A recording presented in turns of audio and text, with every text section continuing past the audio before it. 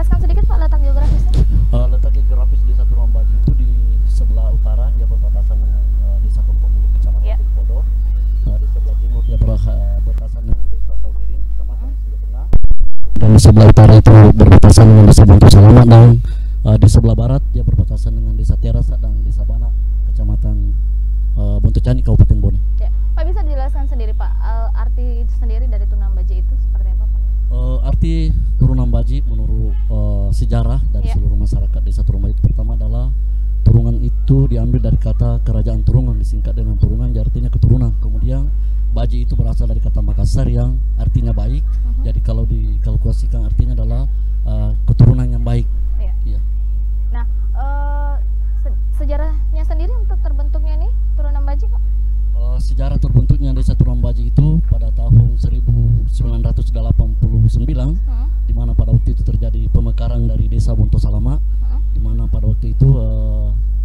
desa Bonto Salamat dimekarkan menjadi uh, dua desa yaitu desa Bonto Salamat dan desa Turhambaji di mana di nakodai itu papa Pak Becek pada waktu itu.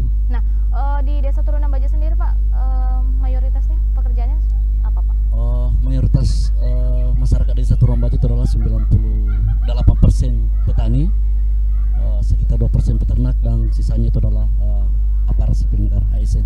Jumlah masyarakatnya sendiri Pak untuk Turunan Baji? Uh, jumlah masyarakat desa Turunan Baji itu kurang lebih 227 jiwa yang terbagi dari 629 eh, sembilan eh, laki-laki uh, dan uh, 791 perempuan. Itu kan tadi banyak profesinya Pak yang untuk Turunan Baji. Yang paling mayoritas Pak profesinya apa?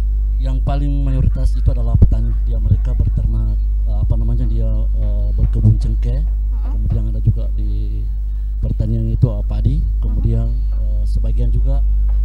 juga warga Kanyang sekitar 20% itu dia uh, masuk di kelompok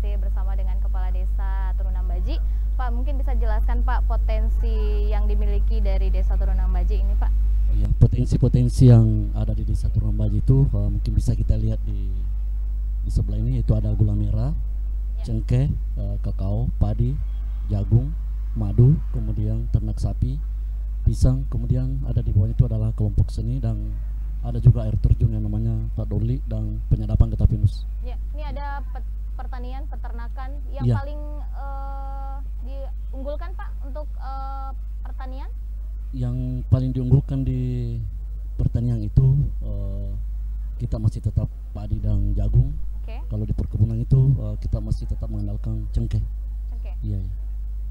Ini juga ada yang menjadi penghasilan utama Pak untuk berenang baji apa Pak? yang penghasilan utama masyarakat kami itu adalah memang eh, dia berharap pada cengkeh Oh, cengkeh. iya Yang menjadi komoditas andalan Nia turunan baji sendiri. iya komunitas andalan iya.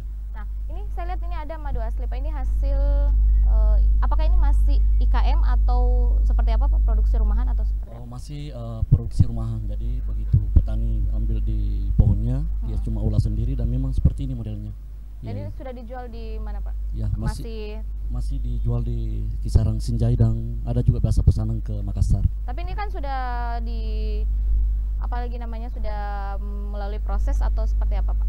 Eh, persisnya seperti tadi begitu kita ambil dari pohon langsung saja dikemas kemudian kasih masuk di botol diberi label ya cuma seperti itu Ada ada eh, yang ingin dilakukan oleh pemerintah Desa Tununang Baji Pak untuk kembali mengekspor begitu madunya tidak hanya dikonsumsi untuk masyarakat Sinja tapi juga untuk di luar Sulawesi Selatan misalnya seperti itu. Ya, jadi niatan kami ke depan ini mudah-mudahan bisa realisasi di tahun 2021. Ya. Uh, kita rencana memang ini uh, madu asli kita ini kita coba-coba diberdayakan di Bumdes, mudah-mudahan dia bisa. Kemudian uh, pasarannya itu bisa uh, ke luar, Ya. bukan hanya di Kabupaten Sinjai. Ya. Boleh tahu sendiri Pak visi misinya Bapak sendiri? Oh, untuk- kalau visi misi uh, di satu Remaja itu adalah terwujudnya masyarakat di satu Remaja yang maju dan makmur, ya. uh, serta memanfaatkan uh, sumber daya alam yang ada. Hmm, SDM. Iya, Ya. SDM. Itu saja Pak.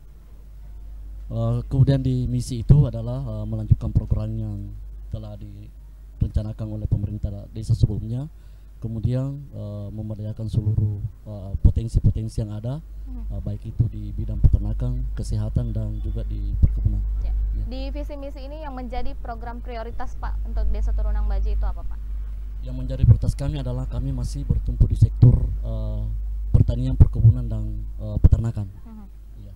Ini kan sebagian besar ini potensi turunan baji itu adalah eh, tadi yang dikatakan bahwa pertanian, perkebunan. Nah, yang menjadi target untuk pengembangan pertanian perkebunan ini di turunan baji itu apa, Pak? Uh, target pertanian kita ke depan uh, setelah kita melihat bahwa uh, hari ini petani masih berharap bahwa dengan tanaman padi tapi setelah kita lihat uh, faktor cuaca juga maksudnya begitu kemarau habis uh, kekeringan dan begitu juga hujan uh, uh, banjir Mhm. maka sekarang petani ini dia coba-coba dia uh, mengelola yang namanya porang Porang. ada yang viral sekarang yang sering kita sebut Yang kayak umbi-umbi itu, Iya, Pak. yang Itu sudah dila- itu sudah di itu sudah uh, sebagian 50% masyarakat kami men- mencoba untuk beralih dari tanaman yang biasanya gagal panen dia mengubah ke termasuk kami sendiri sudah berapa bulan dilakukan, Pak? Masih. ya su- ada yang sudah 8 bulan ada yang baru memang 3 sampai 4 bulan Yang 8 bulan itu sudah menghasilkan, Pak, atau belum? Uh, sudah menghasilkan Dan itu dipergunakan atau Di- dijual ke manakah? Uh, ada memang jadi ada pembelinya langsung uh, Mhm. terkadang dari kecamatan sebelah Mhm. atau ada juga dari kabupaten Goa yang memang langsung uh, membeli cuma memang harganya kita masih di kisaran 6.000 rupiah per kilo Per kilo. iya Nah, itu kalau misalnya eh, yang tadi dikatakan bahwa itu adalah programnya. Nah, yang menjadi ap- akankah ini porang ini akan menjadi eh, prioritas eh, pertanian di situ, Pak, atau seperti apa? Ya kalau menurut analisa kami dengan bersama dengan beberapa staf di desa setelah kita melihat ini potensi ke depan bahwa Poran memang menurut kami ya Ya. sangat memang menjanjikan, ke Menjanjikan, depan. Ya mhm. karena dia uh, pengelolaannya sederhana, Mhm. begitu kita tanam dia tidak terlalu membutuhkan pupuk yang banyak. Kita cukup menggunakan dengan pupuk kandang yang dari ternak masyarakat sendiri, Mhm. dia sudah bisa jadi. Nah, kalau misalnya eh, ditanam eh, berapa bulan ke depan, Pak, bisa dipetik Kalau hasilnya? kalau untuk uh, mau maksimal memang dia harus uh, 10 sampai satu tahun. Kalau kita mau Oh, maksimal. agak lama ya? Iya ya. Cuma memang kalau kita cuma sekedar untuk eh, enam bulan, eh, Hmm. memang dia produksinya kecil. Jadi yang satu pohon itu tidak sampai satu kilo. Tetapi kalau dia digunakan dipakai sampai 10 sampai 12 bulan, satu pohonnya itu dia bisa satu kilo, malah lebih. Nah, untuk mendapatkan eh, bibitnya sendiri, Pak, Uh, untuk sementara sekarang ini ya ada yang memang masyarakat menjual Mhm. dan memang dia tumbuhnya sel itu memang tumbuh bebas dia bisa tumbuh di bawah kebun cengkeh tanam kakao dan malah di bawah uh, aren sendiri dia tumbuhnya bebas Nah itu eh, di daerah mana saja sih Pak yang bisa ditanami? kalau yang saya rasakan sekarang di desa ini memang dia yang daerah yang memang agak subur kemudian yang dia bebas kemiringan 30 derajat dia bisa karena dia tingginya cuma uh, sampai tidak sampai 100 cm Mhm. iya Nah sudah berapa kepala keluarga Pak yang ataukah memang ada eh, artinya kelompok tani begitu yang meng- kalau melakukan secara, itu atau seperti apa? kalau secara kelompok tani memang belum ada kelompok yang mengcover ini tetapi dari dari segi pendapatan rumah tangga masyarakat itu memang rata-rata masyarakat petani ini memang menanam. Iya. Ya, ini Pak ini ada di, di- kita bicara sektor pertanian. Nah sejauh ini bentuk dukungan pemerintah kabupaten sendiri Pak untuk Oh. sektor pertanian baik itu kabupaten maupun pusat bisa Iya, kalau di sektor pertanian, alhamdulillah eh, dua tahun terakhir ini eh, pemerintah Kabupaten Senjaya melalui Bapak Bupati melalui dinas pertanian itu telah menganggarkan pertama adalah perbaikan irigasi de- irigasi, ya kemudian bantuan bibit unggul, ya, ya. bibit unggul seperti apa Pak? Eh, bibit unggul yang saya kurang lupa apa namanya itu yang jelasnya dia itu eh, panennya memang sangat meningkat dari biasanya pendapatan masyarakat itu yang biasanya kita eh, lima karung per satu kali panen dia bisa meningkat menjadi 7 sampai 8 Selain itu Pak ada lagi? yang bantuan lainnya itu ada bantuan hand traktor Mhm. kemudian eh, bantuan-bantuan lainnya berupa pupuk organik yang memang walaupun dari segi keseluruhan kelompok tani memang belum bisa menyentuh semua Sejauh ini perbaikan irigasi di Turunan Baji Pak seperti apa? Eh, perbaikan irigasi itu memang kita kemarin mendapatkan sumber dana dari DAK yang dari kabupaten itu eh, beberapa ada tiga titik Ya. dan alhamdulillah eh, di musim kerja sawah tahun ini masyarakat sudah nikmati. Nah, eh, sejauh ini ada enggak sih Pak inovasi-inovasi yang diciptakan masyarakat eh, untuk eh, perkembangan pertanian sendiri di Desa Turunan Baji? Jadi inovasi-inovasi masyarakat yang kami coba lakukan bersama dengan eh, masyarakat yang sudah profesional di sini adalah itu tadi bagaimana kita eh, bisa menjaga pola tanam yang kalau misalnya eh, kita gagal panen Ya. kita mencoba kalau misalnya di, ya misalnya di sawah itu kita coba-coba dengan apa namanya eh, pola mina padi jadi artinya kita lepas eh, ikan Mhm. dalam jangka 2-3 bulan bisa kita panen ya Selain itu masih ada lagi Pak? Oh, yang lain-lainnya itu saya kira untuk di Desa Turangan Baji karena memang ya boleh saya bilang masih sangat terbatas eh, SDM petaninya, maka baru-baru hal-hal yang seperti itu kita lakukan. Ya, kita break dulu Pak dan pemirsa kita masih akan melanjutkan perbincangan kita di obrolan kita ada kepala desa siaran. Namun usai jeda berikut ini tetaplah bersama kami.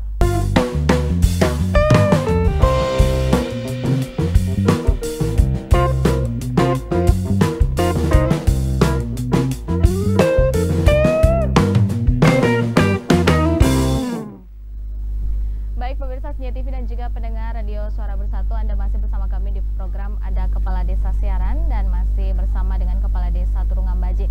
Kembali kami informasikan buat pemirsa Senja TV dan juga pendengar Radio Suara Bersatu, jika ada pertanyaan ataupun tanggapan yang ingin disampaikan terkait dengan tema kita hari ini, Anda bisa menghubungi layanan WhatsApp kami di 0852 577 500. Pak ini eh, sedikit Pak, mungkin eh, pembangunan infrastruktur sekarang Pak yang sudah terimplementasi sekarang ini apa Pak? Eh, kalau pembangunan infrastruktur yang telah terbangun sampai saat ini, kalau khusus untuk eh, jalan yang ditangani oleh Kabupaten, alhamdulillah eh, kita itu sudah dibangunkan kurang lebih eh, 4 kilo mulai dari eh, Kecamatan Senja Barat masuk ke eh, desa kami. Ya. Yang sisa ter- yang tersisa sekarang jalan poros kami itu adalah kurang lebih 4 kilo. Nah infrastruktur yang lain yang belum terimplementasi? Uh, infrastruktur lain itu memang uh, masuk di kewenangan uh, desa kami Ya. itu dari lima dusun yang ada Ya. uh, kami baru bisa menyentuh di sekitaran uh, 50% uh, di masing-masing dusun itu baik itu perkerasan jalan maupun telpor dan uh, juga pembangunan taluk dan drainase. Ada kendalanya Pak? Kendala yang dialami sehingga implementasi itu belum berjalan? Oh, kalau khusus untuk kendala kami di dalam poros uh, layar Arabica ini memang banyak kendala karena kemarin itu memang sempat uh, terjadi bantahan dari Ya. sebagian warga kami Ya. di mana tadinya akan ada jalan baru yang terbangun tetapi masyarakat memang maunya minta yang jalan lama ini tetap dilanjutkan. Nah. Kendala. Ya. Sejauh ini Pak kesejahteraan warga Pak yang di Desa Turunan Baji ini Kalau uh, analisa kami di desa Ya. setelah melihat uh, angka kemiskinan uh, kami itu mulai 2008 ke 2014 kemarin Ya. dari anak 245 kakak miskin kita berhasil turunkan menjadi 186 Mhm. kakak miskin. Kemudian dari pendapatan uh, masyarakat kami ini uh, kami kira kalau untuk berbicara kesejahteraan dibandingkan dengan kakak miskinnya orang kota Ya. ya di atas lah sedikit yang kakak miskinnya kita yang ada di desa hari ini. Ya, ini terkait dengan eh, sumber daya manusianya Pak. Nah sejauh ini yang dilakukan pemerintah Desa Lapat Citrana Pak untuk sumber daya manusia yang tentunya dengan terkait dengan visi misi pemerintah kita. Jadi untuk peningkatan SDM yang kami lakukan di pemerintah desa itu adalah ada semacam pelatihan-pelatihan di tani yang berskala lo- lokal desa. Ya. Jadi artinya kita datangkan uh, pemateri kemudian diberikan uh, ilmu-ilmu Mhm. yang bisa dimanfaatkan apakah itu dia peternak, apakah dia petani, apakah dia. Itu pelatihan yang dilakukan. Sejauh seberapa sering Pak dilakukan? Uh, kita masih satu kali dalam uh, enam bulan. Tapi itu rutin dilakukan. Ya rutin.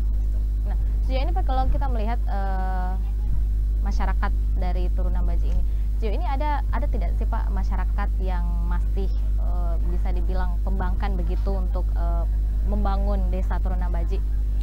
Ya kalau berbicara pembangkang sih ya menurut kami tidaklah. Cuma yang namanya kebijakan uh, tidak selamanya masyarakat itu pro ke kebijakan pemerintah saya kira Ya. itu umrah dan biasa lah terjadi.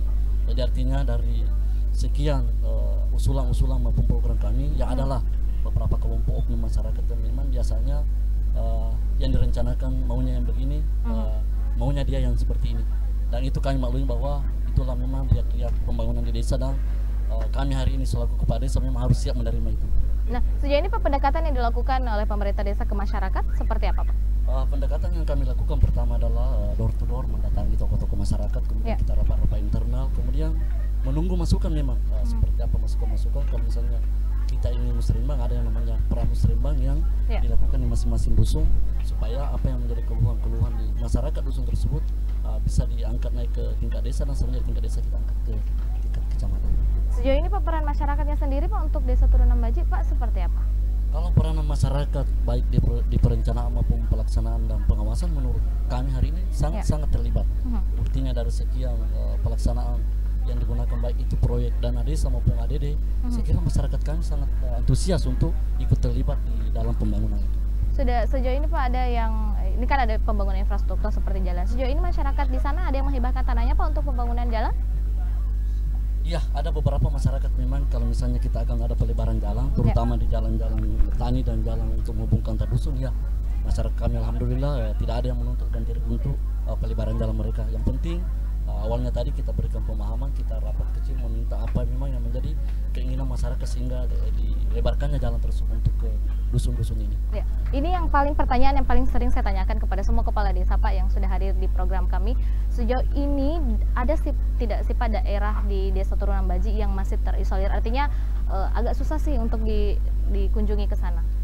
Ya kalau khusus di Turunan Baji ini masih ada dua dusun memang secara eh, hitungan kami. Ya, Yang pertama itu di dusun Sopeng yang tembus ke Patiruang. ya. kemudian dusun Sapu Biru yang tembus bakung-bakung Tangkalia. Jadi memang di situ kalau musim hujan memang akses ke sana memang kami sangat berat. Cuma kalau memang musim kemarau eh, roda empat sudah bisa lewat. Cuma kalau untuk musim hujan begini eh, memang belum bisa karena memang kita baru eh, pelebaran untuk peningkatan jalannya belum kami lakukan. Terkait dengan eh, listriknya Pak sudah semua di Desa Turunan Baji. Listrik di desa Torombe alhamdulillah sudah 90% eh, memakai listrik. Sisa tadi itu eh, yang di Patiruang yang kurang lebih 40 kakak. Sisanya itu sudah teralir semua listrik. Kendalanya yang belum mendapat aliran Eh, listrik Pak? Kendalanya kemarin beberapa usulan tetapi ini sudah disurvei dan malah saya dengar eh, sendiri disampaikan oleh pihak PLN rekanan bahwa Ya. eh, tahun ini akan dibangunkan yang 40 kakak itu. Malah eh, saya lihat sudah ada pengukuran Mhm. eh, yang akan dilewati yang tiang-tiang batu itu. Untuk 2020 sendiri Pak jumlah dana desa yang dikelola oleh pemerintah Turunan Baji Pak. Oh, jumlah dana desa Tunggul Baji di tahun 2020 itu adalah dana desa yaitu 1 miliar 79 juta 243 ribu. Kemudian ADD Mhm. yaitu 937 juta 912 ribu 739 rupiah. Kemudian ada lagi satu yaitu BHP atau bagi hasil pajak itu 35 juta 57 ribu rupiah. Ada kenaikan Pak dari 2009 atau Oh, penurunan? Ada kenaikan, ada Hmm. jadi turun baji itu kenaikannya alhamdulillah ada 4 juta koma 5 sekian. Ya. Iya. Nah, Seperti ini Pak pengelolaan dana desa, apakah ini sudah sesuai dengan prioritas pembangunan yang sudah direncanakan? Atau seperti apa? Kalau uh, sesuai dengan prioritas sesuai, cuma memang uh, untuk uh, mencapai ke arah yang Ya. yang apa namanya yang segala prioritas memang belum bisa kita sampai ke sana karena memang masih keterbatasan. Ya, kalau dihitung sih memang uh, 2 miliar. Mhm. 2 miliar ini tapi kalau sudah dibagi dengan lima dusun saya kira uh, ini sudah masuk siltap dengan operasional lainnya itu dana pembangunan bisa kita pakai cuma di angka uh, 1,2 belum untuk potong pajak. Jadi kalau untuk mau prioritas seluruhnya di dusun ini memang belum. Tetapi alhamdulillah uh, dibandingkan dengan lima tahun sebelumnya kita Ya. tidak bisa berbuat apa-apa. Ya. Ya, dari 2009 Pak hingga 2000, awal 2020 ini ada sih tidak sifat pembangunan yang belum terrealisasi di 2009? Kalau semua uh, yang kami rencanakan mulai di periode pertama sampai hari ini eh, kedua sebenarnya kita sudah sentuh. Mhm. Yang tadinya sempit kita sudah lebarkan, yang tadinya eh, pengerasan kita sudah uh, pengecoran. Cuma seperti itu tadi memang karena panjang uh, jalan desa kami itu memang itu kurang lebih hampir 30 kilo dari uh, lima dusun. Jadi kalau memang anggaran dana desa yang kami bilang nah, hitungannya sangat tinggi, tapi ibarat kita sudah pecah-pecah dan masuk ke dusun memang masih sangat-sangat jauh. Masih kurang Pak ya? Iya, ya, masih kurang ya. ya. Ini Pak sejauh apa sih Pak bentuk transparansinya pemerintah desa ke masyarakat terkait dengan dana desa ini? Karena ini eh, agak agak ini sekali ya. Jadi perlu kami sampaikan bahwa dana, dana desa memang sekarang ini uh, memang beda dengan uh, lima tahun yang lalu. Iya. Jadi bentuk transparansi yang kami lakukan pertama adalah uh, pemasangan uh, papan transparansi memang di tempat-tempat khusus, kemudian di depan kantor desa kami dan seluruh masjid yang ada di dusun-dusun kami kami pasang banner eh, anggaran apa namanya perencanaan yang akan kami kerjakan dengan jumlah total anggaran yang kita akan alokasikan di dusun tersebut. Sejauh ini Pak ada masyarakat yang komplain terkait dengan dana desa? Ya adalah ada masyarakat memang yang malah menanyakan ke kami kok Pak eh, kenapa ini yang dikerjakan cuma sekian meter? Kita maunya Ya. anggaplah 200 meter kayak yang dikerja cuma 70 meter. Jadi seperti itulah. Jadi kami berikan jawaban sesuai dengan apa yang ada di apa namanya di perencanaan kami di Rabi karena memang Ya. kalau untuk menjawab seluruh tantangan masyarakat itu memang saya kira siapa pun pemimpinnya Ya, saya kira memang seperti itu. Ini dalam penggunaan eh, dana desa yang harus melibatkan masyarakat, Pak. Nah, sejauh ini sudah berjalan sesuai eh, yang seharusnya atau seperti apa? Kalau menurut kami hari ini ya eh, kami sudah jalankan sesuai dengan eh, juknis dan petunjuk yang ada Ya. karena di desa itu ada yang namanya pendamping lokal, ada Ya. yang namanya pendamping teknik dan juga kami selalu juga berkoordinasi dengan eh, pihak kecamatan dan juga di dinas PMD sendiri. Jadi sebelum kita melakukan pekerjaan eh, kami minta petunjuk bahwa hal ini yang kita akan lakukan. Baik. Ya, ya. Pak, kita masih akan melanjutkan perbincangan kita dan pemirsa Senja TV maupun pendengar radio Suara Bersatu, kami masih akan melanjutkan perbincangan ini namun usai jeda berikut. Kembali kami mengingatkan untuk Anda jika ada pertanyaan ataupun tanggapan yang ingin disampaikan terkait dengan tema kita hari ini, Anda bisa menghubungi WhatsApp kami di 0852 500. Kami akan kembali sesaat lagi.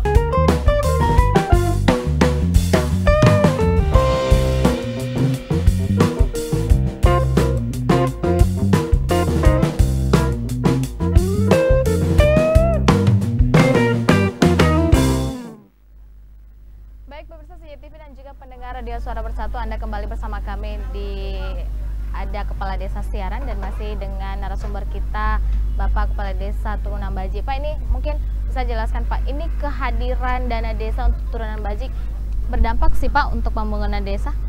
Oh, kehadiran dana desa ini sangat sangat sekali Iya.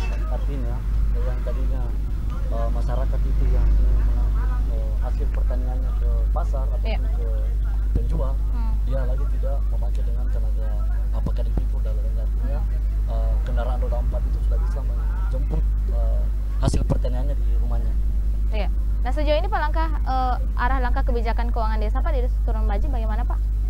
Eh, arah langkah kebijakan kami di keuangan pertama tadi adalah kami masih tetap ingin bagaimana supaya dana eh, transparansi kami Iya. dari pengelola dana desa itu memang harus eh, jelas-jelas dan mungkin ke masyarakat. Kemudian yang kedua, eh, kami memang sudah memberikan eh, instruksi kepada terutama pengelola keuangan di perencanaan bahwa Iya. eh, kita betul-betul ini eh, menggali aspirasi masyarakat yang mana memang sangat Mendesak dengan tidak eh, memperhitungkan bagaimana untuk kepentingan tetapi berdasarkan skala prioritas untuk kebutuhan masyarakat itu sendiri. Nah, sejauh ini Pak, eh, yang menjadi kendala pemerintah desa dalam mengelola dana desa ini Pak, apa? Uh, pertama uh, kendala kami dalam pengelolaan dana desa pertama adalah tingkat SDM-nya aparat kami Ya, yang boleh dibilang bahwa uh, tadinya ini memang sistem pertanggungjawaban dana desa ini ya, uh, tidak sesim- setimpal dengan apa yang kita bayangkan. Tapi Ya. akhirnya alhamdulillah dengan melalui pelatihan-pelatihan perangkat desa baik itu yang dilakukan oleh dinas PMD sendiri maupun yang dilakukan oleh beberapa eh, apa namanya yang sampai ke Makassar itu eh, SDM daripada perangkat kami alhamdulillah sudah bisa eh, bekerja sesuai dengan definisi yang ada walaupun kami sadari bahwa eh, keterbatasan yang Ya. mereka memang eh, masih sangat rendah. Nah, ini lagi Pak terkait dengan eh, sumber daya manusia. Nah, sejauh ini potensi yang dimiliki oleh Desa Turambaji ini yang masih membutuhkan dukungan besar dari pemerintah kita apa Pak? Yang sangat membutuhkan eh, Dukungan. dukungan adalah Iya. yang pertama eh, jangan sampai dengan adanya adanya dana desa ini tingkat partisipasi masyarakat juga sudah berkurang artinya Iya, eh, saya merasakan sendiri bagaimana dengan hadirnya dana desa ini iya, saya juga melihat bahwa tidak bisa dipungkiri bahwa tingkat partisipasi masyarakat juga eh, jujur bahwa juga dia akan menurun dengan adanya tadi bahwa eh, masyarakat memang mau bekerja sesuai dengan eh, yang namanya ada OK. Iya. Tetapi eh, kami tidak akan pernah henti-hentinya untuk menyampaikan bahwa dana desa maupun ADD yang kita eh, kelola hari ini itu cuma adalah rangsangan saja dari pemerintah pusat maupun kabupaten tapi ini adalah bagaimana kita tetap berpartisipasi berswadaya. Iya. Karena kami yakin ke depan tidak ada jaminan Betul. 5-10 tahun ke depan dana desa ini ada tapi Betul. mungkin berbentuk yang lainnya. iya. Nah, tadi dijelaskan bahwa dana desa itu tidak mencukupi untuk pembangunan desa. Nah, ada tidak sih Pak langkah yang dilakukan oleh pemerintah desa misalnya yang lain-lain untuk menghasilkan misalnya eh, sesuatu yang lebih bermanfaat lagi dan hasilnya itu bisa digunakan untuk pembangunan desa. Ada enggak Pak? Ya khusus untuk tahun ini eh, kami mencoba juga eh, kami coba sampaikan tadi itu Ya. mengenai destinasi wisata. Ya. Jadi ada beberapa dua titik yaitu Mhm. air terjun yang ada di pusat di sekitar kantor desa kami dan juga ada eh, semacam wisata pegunungan yang Batu Matepe yang berbatasan eh, Desa Bonto Kecamatan Sejatinginan sementara kita pembangunan Tapang Gazebo dan insya Allah mungkin dalam jangka 2-3 bulan ke depan Ya. kami akan bersama dengan BPD membuatkan perdes supaya ada semacam eh, timbal baliknya ke desa jadi artinya setiap pengunjung kita ada retribusi ataupun sebutan lainnya Mhm. sehingga ada timbal balik nanti setelah eh, Ya. tidak ada lagi namanya dan desa ada yang Bisa di untuk bisa betul. dikelola Iya. Iya. Alasan alasan yang paling utama sih Pak kenapa harus memilih oh kita punya potensi wisata. Kenapa Pak? karena saya lihat yang sangat menjanjikan hari ini adalah wisata dari sekian baik itu lomba desa maupun potensi baik itu di luar Iya. Sinjai maupun memang kita rata-rata memang ditunjuk untuk wisata karena saya lihat ini wisata hari ini yang Iya. sangat viral memang dan sangat menjanjikan apalagi uh, potensi itu ada di desa kita Nah, itu itu kalau pengelolaannya bagus Pak. Nah langkah yang diambil untuk agar tetap pengelolaannya bagus dan bisa menghasilkan eh, sesuatu yang bisa menjadi tambahan untuk dana desa ini Pak, apa yang dilakukan? Oh selain wisata masuk kami tadi eh, harapan kami ada sama bumdes karena Ya. bagaimanapun juga ke depan ini yang namanya badan usaha di desa Ya. mereka lah bertumpu Eh, harapan kita ke depan Ya. mudah-mudahan eh, bumdes kami yang ada di Setorong Baji ini eh, bisa lebih bersinergi ke depan dengan pemerintah desa dan juga eh, bisa melakukan eh, Ya. apa-apa yang menjadi inovasi di desa karena kami yakin hanya melalui bumdes lah inovasi itu bisa ada walaupun kami tahu bahwa sampai hari ini bumdes kami di desa Torong Baji ini boleh dibilang masih jalan di tempat tetapi pada prinsipnya kami tidak akan pernah berhenti di sini berupaya meminta petunjuk dari desa-desa yang sudah maju bundesnya dan juga bisa sama dengan eh, bundes yang ada di desa kami. Ya.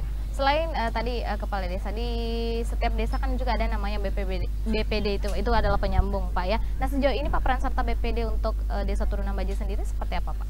Eh, peranan BPD di desa kami sampai mulai dari periode pertama sampai di periode kedua alhamdulillah kami Ya. boleh dibilang eh, tidak ada masalah tapi intinya yang namanya BPD suatu mitra eh, badan permusyawaratan masyarakat Ya. tentunya terkadang ada memang sanggahan ke kami ada berbentuk bahan perbaikan bahan masukan tetapi kami anggap bahwa eh, mereka adalah mitra kami yang hari ini kami sama-sama menyusun program perencanaan desa dan peraturan desa dan khusus untuk BPD kami pada hari ini memang dia sudah berjalan sesuai dengan tupoksinya Ya. yang namanya kita menyampaikan aspirasi ataupun ada rapat khusus di BPD Ya. uh, kami memang sering mendapatkan sanggahan memberikan masukan tapi kami anggap itu adalah uh, seperti itulah memang realita yang namanya kita uh, pembangunan di desa Sejauh ini Pak eh, sudah terlihatkah ke kinerja dari BPD di desa Turunan Baji?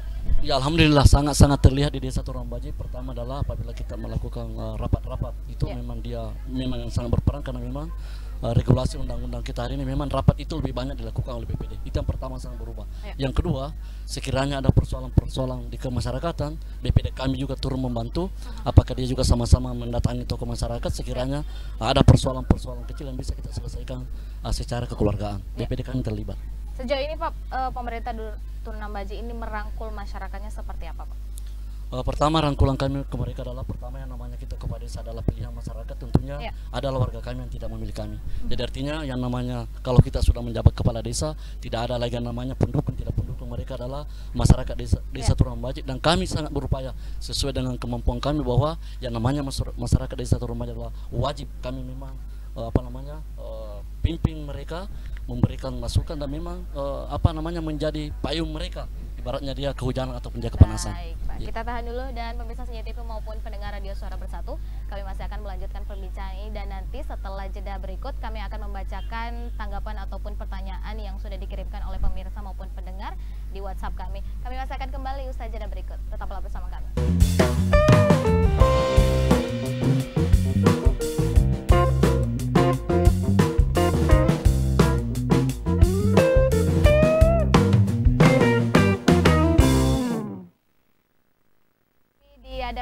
Desa siaran dan sesuai janji saya, saya akan membacakan eh, tanggapan ataupun pertanyaan yang masuk terkait dengan eh, tema kita hari ini bersama dengan kepala desa Turunan Baji. Pak, ini mungkin ada pertanyaan dari Neni di Senja Utara. Sejauh ini program apa saja sih Pak yang sudah dilakukan di desa Turunan Baji yang sejalan dengan program pemerintah? Tadi sudah jelaskan Pak, mungkin bisa jelaskan kembali Pak. Ya, program yang kami telah lakukan sejalan dengan pemerintah eh, kabupaten Ya. yaitu yang alhamdulillah tahun ini mungkin 2 3 bulan ke depan salah satu uh, visi misi Bapak Bupati bahwa satu desa satu ambulans insya Ya. Allah di bulan Maret ini kami juga akan mengadakan ambulans desa Mm-mm. yang insya Allah mampu membantu masyarakat kami setidaknya uh, meringankan beban mereka sekiranya ingin merawat ke puskesmas maupun ke rumah sakit umum daerah. Ya. Kemudian uh, yang kedua uh, ada juga uh, visi misi Pak Bupati bahwa uh, dia membuka uh, seribu lapangan kerja Ya. walaupun kami tahu di desa ini bahwa kami ingin berencana bahwa uh, seluruh perangkat desa yang merangkap jabatan menjadi guru honorer dan juga ini supaya uh, nanti cuma dia bisa memilih karena ini juga adalah bagian dari membuka lapangan kerja di desa kan artinya kalau banyak perangkat kita yang merangkap jabatan uh, nantinya tidak uh, terlalu sukses apa yang mereka lakukan Ya. ini yang ini yang kita uh, lakukan Nah, sejauh ini Pak pencapaian yang sudah dilakukan selama menjabat sebagai kepala desa apa Pak? kalau pencapaian yang kami lakukan Hasil sejak- pembangunan. hasil pembangunan alhamdulillah eh, pertama sebelum kami menjadi kepala desa ini sepotong aspal pun di desa Turunbai tidak ada walaupun ini adalah bantuan dari pemerintah kabupaten Iya. tapi melalui usulan desa. Yang kedua tadinya desa kami itu sangat gelap bunita Iya. alhamdulillah eh, sudah ada 85% sudah terang benderang kemudian yang ketiga eh, irigasi air bersih. Kemudian juga perpipanya masuk ke rumah penduduk kami bilang bahwa itu sudah masyarakat kami sudah teralih sekitar 70% Iya. untuk air, air bersih termasuk kemarin ini kami mendapatkan bansimas Iya. dari pemerintah Kabupaten Sinjai dan itu sangat berdampak sekali dengan uh, warga kami di desa Masyarakat, ya. Nah, ini saya ada pertanyaan lagi Pak dari Pak Yanwar. Ini apa bentuk sumbangsi masyarakat desa sejauh ini yang dianggap sangat membantu pemerintah desa? Uh, bentuk sumbangsi masyarakat yang sangat uh, membantu desa pertama adalah sekiranya ada pembangunan PAUD posyandu masyarakat dengan rela menghibahkan tanahnya. Mhm. Ini yang pertama sekali dan kami dari pemerintah desa tidak bisa menilai itu dengan rupiah. Ya. Mudah-mudahan Allah Subhanahu wa taala yang menilai yang kedua uh, bentuk-bentuk partisipasi sekiranya uh, ada apa namanya drainase yang tersumbat masyarakat dengan kesadaran mereka memperbaiki pinggiran-pinggiran jalan sehingga tadinya uh, drainase di pinggir jalan itu bisa uh, jalan sesuai dengan kita inginkan. Kemudian uh, bentuk dukungan partisipasi masyarakat itu alhamdulillah setiap kita melakukan pertemuan-pertemuan uh, masyarakat kami sangat antusias untuk mengikuti itu, itu berarti bahwa masyarakat ini adalah uh, betul-betul ingin melihat uh, desanya ke depan bisa lebih maju lagi. Iya. Ini terkait dengan potensi desa yang dimiliki oleh setiap desa itu bermacam-macam Pak. Ada tidak sih Pak potensi yang eh, masih bisa digali oleh eh, desa Turunan Baji ini yang sama sekali tidak dimiliki oleh desa-desa lain? Ada enggak Pak? Kalau menurut potensi kami yang eh, yang boleh dibilang kalau di Sinjai Barat itu ada beberapa desa yang tidak memiliki itu tadi eh, pertama adalah uh, Getapinus, kemudian yang kedua wisata eh, di atas gunung itu yang kita bisa di malam hari Iya. melihat keseluruhan bagaimana suasana kota Sinjai. Dan kami yakin bahwa khusus untuk di Barat ini Iya. yang miliki cuma kayaknya desa Gunung Per yang lainnya tidak ada. Akan dilaksanakan kapan? Insya Allah kami memang target ke depan minimal di akhir masa jabatan kami di 2021 Iya. Insya Allah Iya. bagaimana supaya eh, tempat ini menjadi wisata dan menjadi kenangan terindah buat kami di selama menjabat di desa Turambaki ini. Ya, ini ada sejauh mana sih Pak sinergitas yang dibangun oleh pemerintah desa dan eh, pemerintah eh, kabupaten terkait dengan visi misi dari eh, Bupati Sinjai? Eh, sinergitas yang kami lakukan bahwa yang namanya kita desa wajib memang mengamankan segala kebijakan Bapak Bupati kita hari ini. Iya. Artinya walaupun kami tahu bahwa yang namanya bersinergitas itu memang Iya. tantangan di sana sini ada, tetapi insya Allah pada prinsip mengamankan seluruh kebijakan Bupati termasuk visi mereka adalah Ya. bagaimana ke depan Sinjai ini bisa lebih baik daripada tahun-tahun sebelumnya. Ya mungkin ada harapan Pak yang disampaikan oleh pemerintah kabupaten maupun uh, pemerintah provinsi terkait dengan implementasi programnya Desa Turungan Baji. Ya harapan kami pertama adalah di momen Sinjai PSN Expo 2020 ini pertama Ya. kami dari pemerintah Desa Turun Desa berterima kasih terutama pro uh, suara bersatu dan Sinjai TV Ya. atas undangan yang diberikan kami Sony sangat berharga bagi kami Ya. dan yang kedua eh, kami memohon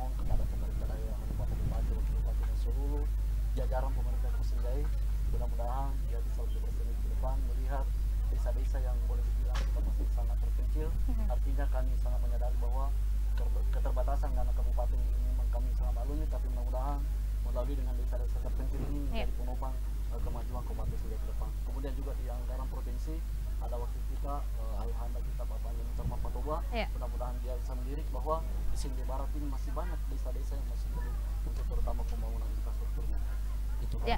Itu tadi harapan ke pemerintah provinsi. Harapan ke masyarakat Desa Turunan Baji sendiri Pak sebagai Eh, kepala desa? harapan kami kepada masyarakat desa Turambaja adalah pelihara seluruh yang apa namanya yang telah kita bangun baik Ya. itu menggunakan dana desa, ADD, BHB dan juga melalui pembangunan yang diturunkan oleh kabupaten dan provinsi Ya. artinya karena kalau tidak ada pemeliharaan seperti ini sebenarnya di depan bantuan pemerintah itu tidak akan ada di rumah kita artinya sepanjang kekompakan masyarakat untuk memelihara seluruh bangunan-bangunan yang ada insya Allah ke Ya. depan kami yakin bahwa Turambaja bisa berdiri sama tinggi dengan desa-desa lainnya Baik, baik Pak Kepala Desa terima kasih atas waktunya. Sukses terus Pak. Kami Iya. masih menantikan potensi-potensi lainnya Pak yang bisa digarap.